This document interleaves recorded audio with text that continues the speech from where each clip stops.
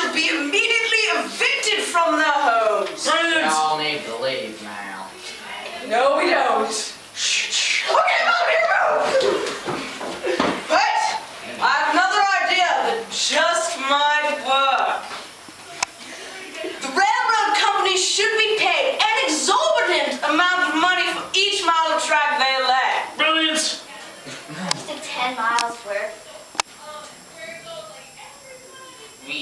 Need to give you $160,000? Thank you. Brilliant!